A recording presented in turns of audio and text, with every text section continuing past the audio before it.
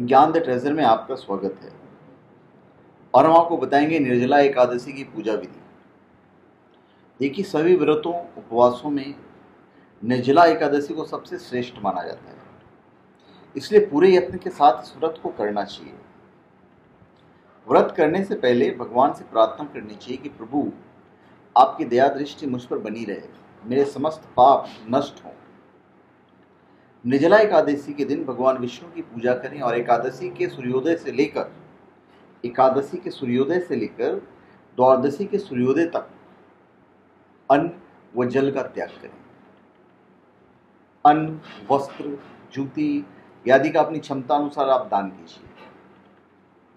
जल से भरे घड़े को भी वस्त्र से ढककर उसका भी दान किया जाता है।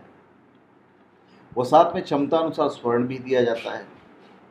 ब्राह्मणों अथवा किसी गरीब और ज़रूरतमंद को मिष्टान और दक्षिणा भी देनी चाहिए।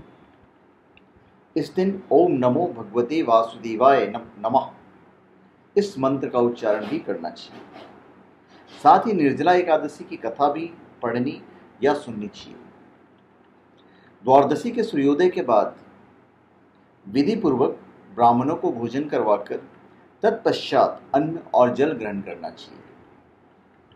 व्रती को यह ध्यान रखना चाहिए कि गलती से भी स्नान व आचमन के अलावा जल ग्रहण नहीं हो।